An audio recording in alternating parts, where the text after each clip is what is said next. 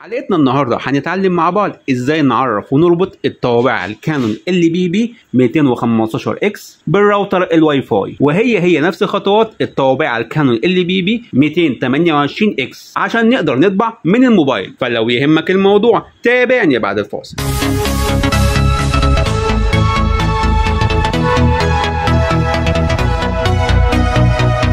السلام عليكم ورحمة الله وبركاته. ازيكم إخواني عاملين إيه؟ أخباركم إيه؟ إن شاء الله تكونوا بخير وفي افضل حال. معاكم أحمد السيد من قناة Canon بالعربي وحلقتنا النهارده هنتعلم مع بعض عن خطوات ربط الطابعة ال Canon LBP 215 X بال router ال Wi-Fi عشان نقدر نطبع من الموبايل. وهي هي نفس الخطوات للطابعة ال Canon LBP 228 X. فأول حاجة هنروح للطابعة ونربط الطابعة بال router ال Wi-Fi. وبعد كده هنروح للموبايل ونثبت تعريف الطابعة في الموبايل والخطوات كالتالي. أول حاجة هنختار القائمه ثم نختار التفضيلات ثم نختار الشبكة هيطلب منك معرف مدير النظام ورقم البن. معرف مدير النظام من سبعة لواحد عد تنازلي زي ما أنتم شايفين كده.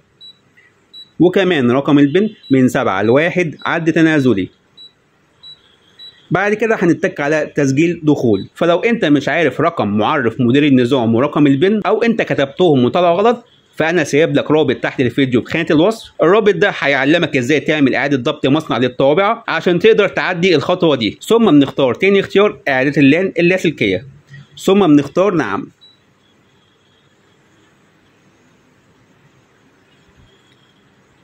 تم تكوين الإعداد. هنضغط على OK. ثم نختار أول اختيار إعدادات ال SSID وهنا بيظهر لك اختيارين. اختيار تحديد نقطة الوصول والاختيار الثاني إدخال يدوي. تحديد نقطة الوصول ده لو أنت عامل ال router ال Wi-Fi بتاعك مرئي. يعني أي حد بيبحث وبيلاقي اسم الشبكة. لكن اختيار إدخال يدوي ده بتختاره في حالة إنك عامل الشبكة مخفية. يعني لو بحثت في الموبايل ما تلاقيهاش فبالتالي بتختار ادخال يدوي وبتدخل اسم الراوتر وكلمة المرور. وطبعا الراوتر بتاعي أنا عامله مرئي فهختار تحديد نقطة وصول. وهنا بيبحث على الشبكات اللي موجودة عندك. أنا الراوتر بتاعي أول واحد بتقدر تبحث على شبكه بالطريقة ديت. فأنا هختار الشبكة بتاعتي وهختار التالي. ثم نختار OK. وهنا بيقول لك دخل كلمة المرور ال router ال Wi-Fi مع العلم إن زر السهم ده بيحول الحروف من capital ل small أو من small ل capital فأنا هدخل كلمة المرور دلوقتي حالا. وبعد ما دخلت كلمة المرور بختار تطبيق. ثم نختار نعم. وهنا بيقول لك جاري الاتصال. بتنتظر لحد ما يقول لك تم الاتصال. أهو زي ما أنتم شايفين بيقول لك تم الاتصال. هنتك على إغلاق. ثم نختار المنزل. وبعد كده هيظهر لك هنا على شاشة الطابعة علامة تردد. العلامة دي معناه إن الطابعة اتوصلت بال router ال Wi-Fi بنجاح. في خطوة مهمة جدا لازم نعملها. عشان نقدر نحول ال IP من اوتوماتيك اللي هو التلقائي إلى يدوي اللي هو ال manual. والخطوة دي مهمة جدا لازم تعملها. هنختار القائمة ثم نختار التفضيلات ثم نختار الشبكة وبتدخل معرف مدير النظام عادي جدا أهوت. ورقم ال PIN أيضا زيه بالظبط. وبتختار تسجيل دخول بتختار خامس اختيار إعداد تي سي بي اي بي بتختار أول اختيار IPv4 بتختار أول اختيار اعداد عنوان IP وبعد كده بنختار أول اختيار اكتساب تلقائي تشغيل وبنخليها إيقاف بالطريقة دي. ثم بنختار تطبيق. ثم OK تمام؟ بعد كده هنطفي الطابعة عادي جدا من زر التشغيل بتاعها وبتنتظر لحد ما تنطفي. وبعد كده بنرجع نشغل الطابعة من زر التشغيل عادي جدا. طب دلوقتي أنا عايز أعرف إيه اللي إحنا عملناه؟ كل اللي عملناه إن إحنا حولنا ال IP من automatic ل manual عشان لما الكهرباء تقطع عندك أو الراوتر تطفيه وتولعه كل شوية هتلاقي رقم ال IP بيتغير وكل شوية هتقعد تضيف الطابعة. لكن لما أنا حولته ل manual فبالتالي رقم ال IP مش هيتغير نهائيا. وبتنتظر لحد ما علامة التردد دي تظهر على شاشة الطابعة. ودلوقتي هنروح مع بعض لجهاز الموبايل ونتبع الخطوات واحدة واحدة مع بعض. فيلا بينا. أول حاجة هنروح لل Play Store أو ال App Store اللي موجود في موبايلك. ونكتب في ال search كلمة Canon بالطريقة دي. أهي. ثم ننزل تحت شوية كده هنختار الاختيار اللي قدامنا ده Canon Print Business تمام؟ ثم نختار تثبيت. وتنتظر لحد ما يبدأ في تحميل وتثبيت البرنامج. ورابط البرنامج إذا كان Android أو iOS أنا سايبه لكم في رابط تحت الفيديو في خانة الوصف. وبعد ما ثبتنا البرنامج هنعمل فتح عادي جدا كده للبرنامج. هنعمل السماح. وطبعا أول ما تفتح البرنامج هيقابلك خطوات كتير قوي. والخطوات دي روتينية عادي جدا. Agree Agree OK حاجات عادية جدا. وبعد كده هيثبت على الشكل ده. فوق على الشمال كده في علامة طابعة وعليها زائد. ضغطة واحدة عليها ثم هنختار أول اختيار auto search أهو كده. وهنا بيبدأ يبحث على الطابعات اللي موجودة عندك. أنا ال printer بتاعتي اسمها Canon LBP 215 هختار عادي جدا كده واختار Edit ودلوقتي ثبتنا تعريف الطابعة على الموبايل. طب افرض دلوقتي عملت auto search والطابعة ما ظهرتش معايا. في الحالة دي هندخل IP الطابعة في الموبايل. طب الخطوات إزاي؟ تعالوا نشوفوها مع بعض. هنختار القائمة عادي جدا كده. نختار التفضيلات الشبكة ندخل معرف مدير نظام زي ما اتعلمنا كده. ثم نختار خامس اختيار إعداد ال TCP/IP أول اختيار IPv4 اعداد عنوان ال IP التحقق من الإعدادات اهو عنوان ال IP هو ده رقم ال IP اللي أنت هتدخله في الموبايل عشان تقدر تشوف الطابعة. فما تقفلش الصفحة دي وسيبها زي ما هي ونروح لبرنامج Canon من تاني. هنفتح برنامج Canon كده عادي جدا تمام؟ ونختار إضافة طابعة من فوق وبعد كده هتختار manual search تاني اختيار. هيقول لك دخل IP الطابعة. زي ما شايفين رقم الطابعة ظهر قدامي أهو بالطريقة دي. هنختاره عادي جدا ونختار Edit وبكده عرفنا الطابعة أو ثبتنا الطابعة على الموبايل. طب دلوقتي إزاي نطبع الموضوع بسيط جدا. هتختار أي ملف مبعوت لك على الواتساب على أي مصدر تمام؟ نفتحه عادي جدا كده. وليكن مثلا ملف ال PDF وعلى سبيل المثال هختار مرحبا بك تمام كده؟ وخطوات الطباعة واحدة وهي إنك تعمل مشاركة أو share كده تمام؟ إرسال نسخة. ونختار برنامج Canon اللي إحنا نزلناه أهوت.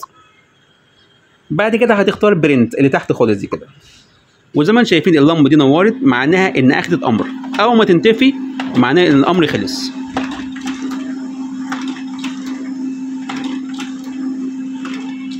أو طبعت خمس أوراق بكل سهولة.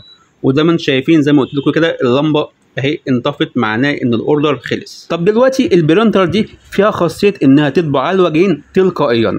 عاوز أعرف إزاي أستخدم الخاصية دي؟ الموضوع بسيط جدا.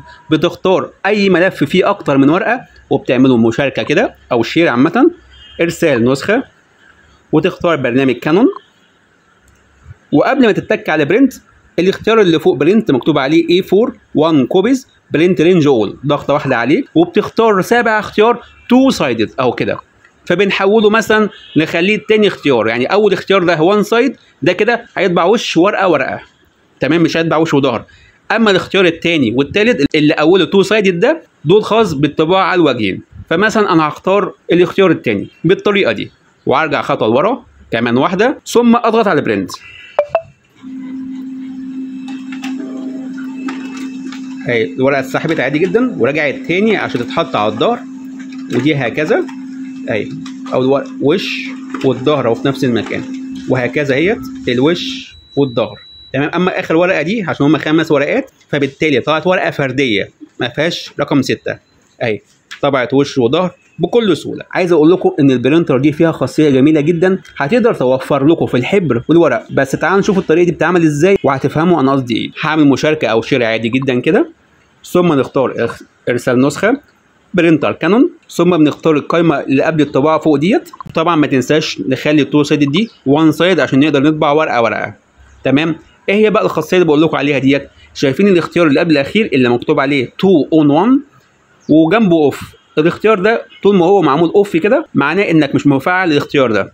ضغطه واحدة عليه فعلنا الاختيار ده بقى on طب إيه الاختيار ده؟ تعالوا نشوفه مع بعض. هنرجع خطوة لورا ثم print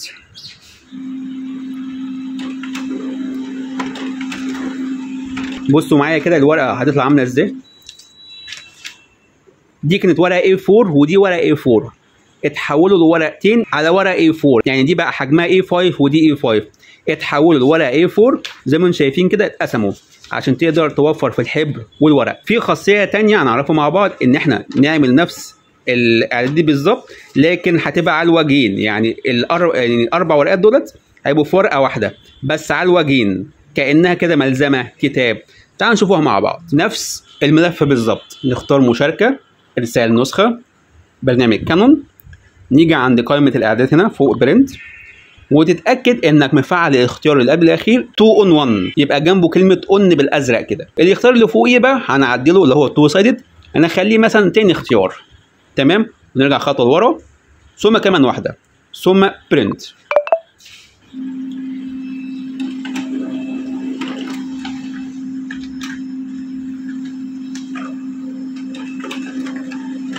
أهو بص كده معايا.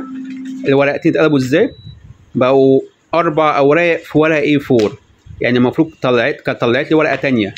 لا أدي ورقة A4 وورقه A4 ورقة A4 ورقة A4 في ورقة A4 يعني أربع أوراق بحجم A4 اتحولوا في ورقة واحدة بس على حجم ال A5 كده فهمنا الخاصية دي بتتعمل إزاي؟ طبعا إحنا عايزين نرجع كل حاجة تبقى زي ما هي وتطبع ورقة ورقة. تعالوا نشوف هنعمل إيه مع بعض. هنختار مشاركة كده ثم إرسال نسخة ثم برنامج Canon ونيجي عند الإعداد عند قائمة الإعدادات هنا ونيجي عند الاختيار اللي قبل الأخير نعمله off كده وال two side نخليها one side بكده هتطبع ورقة ورقة بكل سهولة. طب على سبيل المثال عندي صورة في ألبوم أو استوديو الهاتف وعاوز أطبعها. والخطوات كالتالي هعمل مشاركة أو share هنختار برنامج Canon أما برنت كده على طول.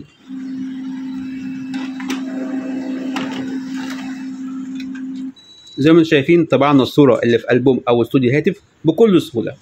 وبكده انتهينا من موضوع حلقة النهارده. أتمنى انه نال عجبكم أتمنى الموضوع يكون نال عجبكم منتظر. أي استفسار لكم بخصوص طبعات كانون كان معاكم أحمد السيد من قناة كانون بالعربي. والسلام عليكم ورحمة الله وبركاته.